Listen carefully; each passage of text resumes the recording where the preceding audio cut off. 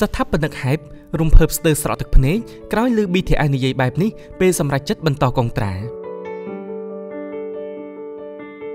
ក្នុងឆ្នាំ2023នេះក្រុមហ៊ុន Hype ទទួលបានសមិទ្ធផលធំៗជាច្រើន និងប្រាក់ចំណេញដ៏សន្ធឹកសន្ធាប់ដែលអាចធ្វើឲ្យពួកគេបន្តតំណែងជាក្រុមហ៊ុនយក្សក្នុងឧស្សាហកម្មកំសាន្តបានយ៉ាងរឹងមាំប៉ុន្តែរឿងដែលកាន់តែធ្វើឲ្យទទួលបានការចាប់អារម្មណ៍ទៅទៀតនោះគឺការបន្តកងត្រារបស់ក្រុមតារាចម្រៀង BTS ជាលើកទី3ក្នុងនាមជាតារាចម្រៀងក្រោមទ្រនំក្រុមហ៊ុន Big Hit Music បន្ទាប់ពីរួមដំណើរជាមួយគ្នាអស់រយៈពេលមួយទសវត្សរ៍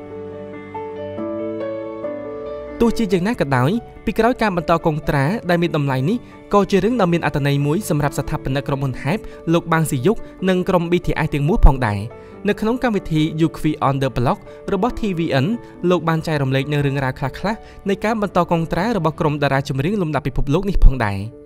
នៅក្នុងខែមិថុនាឆ្នាំ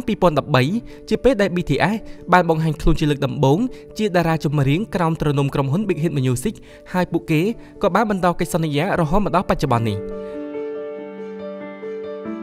ជាមួយគ្នានេះលោកបាននិយាយថាសម្រាប់តារាលំដាប់កំពូលដូចជា BTS តែងតែមានជំរើសជាច្រើនសម្រាប់ពួកគេប៉ុន្តែពួកគេនៅតែជ្រើសរើសបន្តកងត្រាជាមួយពួកយើងដែលនេះគឺជារឿងដ៏អស្ចារ្យមួយសម្រាប់លោក។ មិនត្រឹមតែប៉ុណ្ណោះលោកបានសារភាពថាលោកពិតជារីករាយខ្លាំងណាស់នៅពេលដែលអ្នកទាំង7សម្រេចចិត្តរួមដំណើរជាមួយគ្នាបន្តទៅមុខទៀត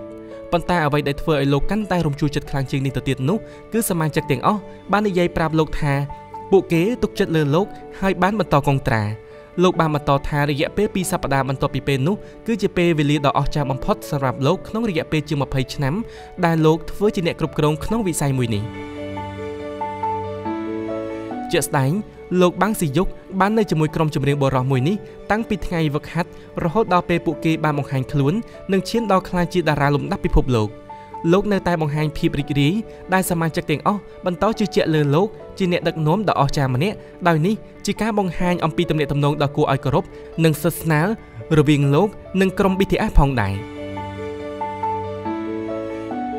ក្រោយការចាប់ផ្សាយវគ្គមួយនេះរបស់កម្មវិធី Yukvi on the Block ហើយបានធ្វើឲ្យអ្នកលេងអ៊ីនធឺណិតភាគច្រើនបានបញ្ចេញ comment ជាច្រើនដោយយល់ថាក្នុងរយៈពេលមួយទសវត្សរ៍កន្លងមកនេះពួកគេមិនធ្លាប់ឃើញតារានិងអ្នកគ្រប់គ្រងមានគំនិតសឹងតែដូចគ្នាទាំងស្រុងបែបនេះទេ